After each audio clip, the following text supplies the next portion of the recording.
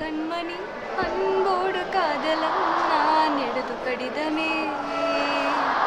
பொன்மணி உன் வீட்டில் சௌக்கியமா? நான் என்று சௌக்கியமே. உன்னை எண்ணி பார்க்கையில் கவிதை கொட்டுது.